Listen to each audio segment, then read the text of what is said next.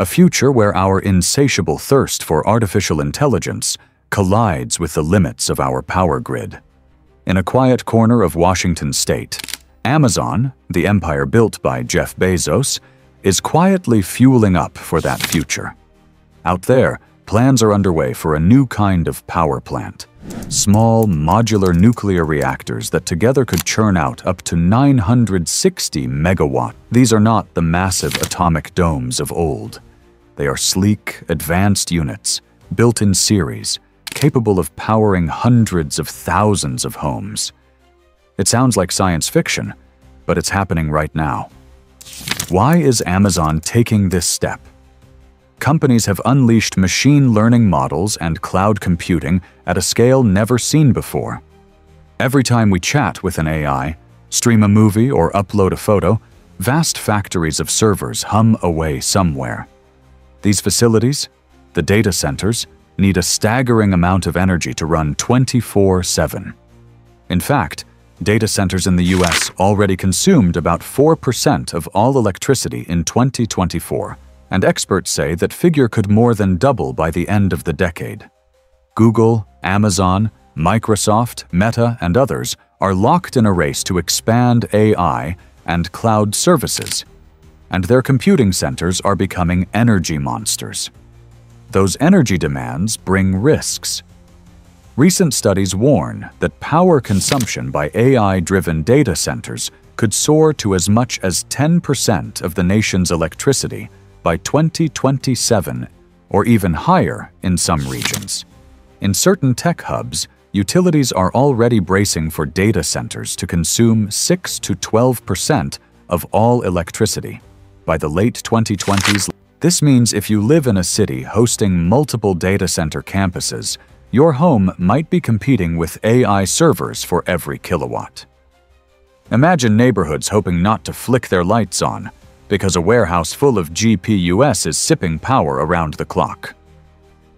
Big tech companies see this storm on the horizon, so they're taking matters into their own hands.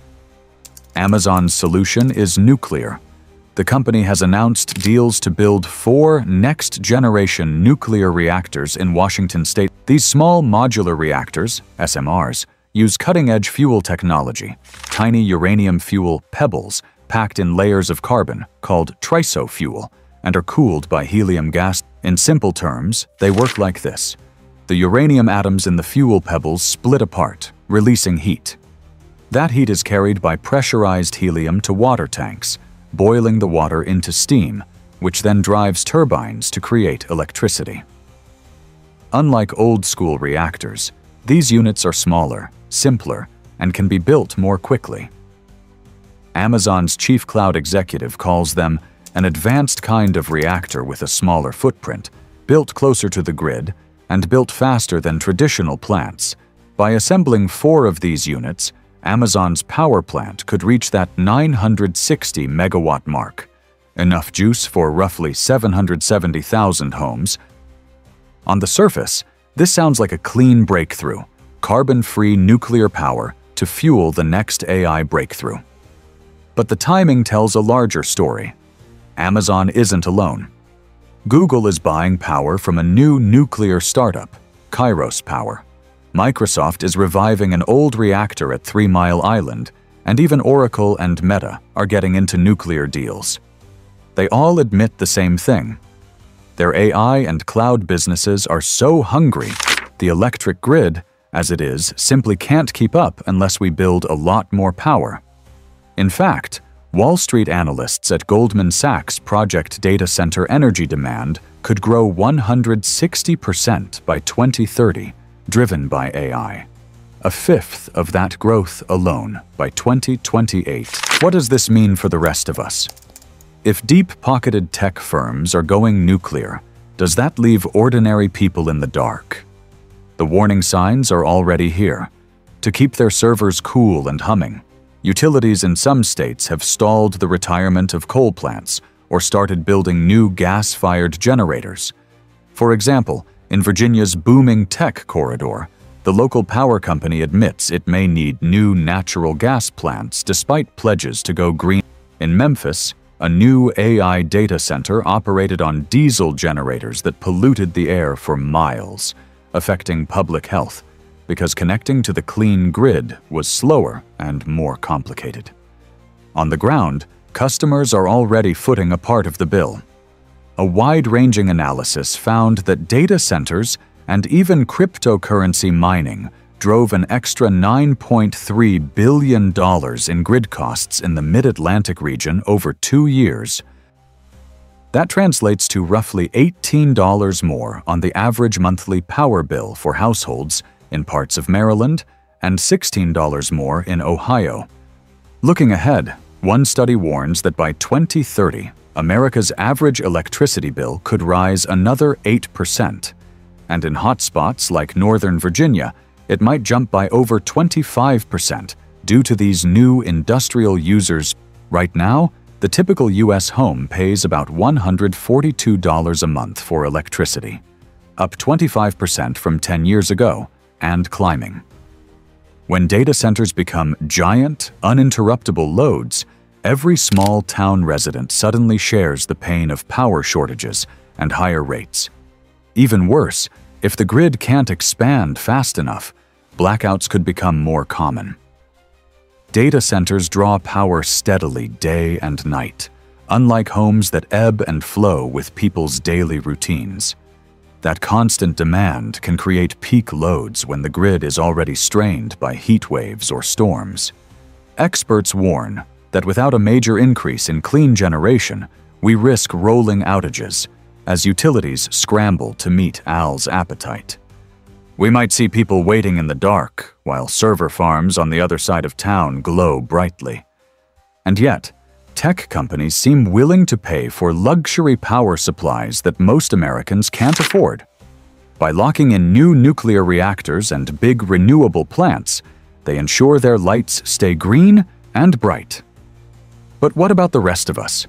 Small businesses and ordinary neighborhoods might only see older, dirtier plants kept online and sky-high rates to cover grid upgrades.